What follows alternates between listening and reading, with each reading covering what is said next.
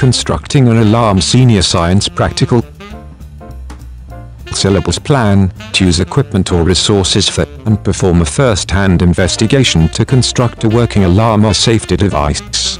Equipment wires power source alarm bimetallic strip, Bunsen burner or fire source tongs. Definition A bimetallic strip two metals that expand out at different rates and temperatures is made of brass and steel used to help turn on or off an alarm. Method Part A Creating a working circuit 1. Construct a circuit, connecting the wires to a power source, an alarm, and to the bimetallic strip. Arrange as the circuit shown below. 2. Note what results from turning on the circuit. Instead of the switch, the bimetallic strip acts as a switch, turning the circuit on when there is a fire.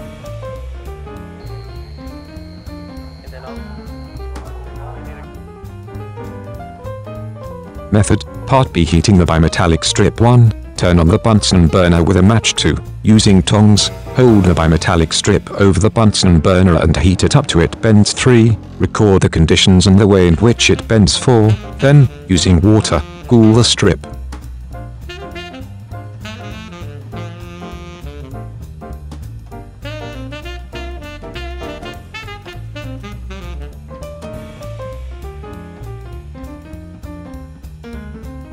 Results when a bimetallic strip is heated, it bends and completes the circuit, activating the alarm. The brass expands at a greater rate, bending the steel as a consequence. When the strip cools down, the circuit is broken, stopping the alarm.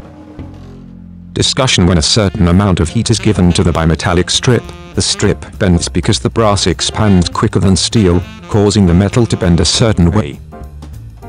Discussion in fire alarms. This completes the circuit as electricity is conducted through the bimetallic strip, activating the sound-making device such as an alarm. When the bimetallic strip cools, it unbends, hence breaking the circuit, and stopping the alarm from going off or continuing.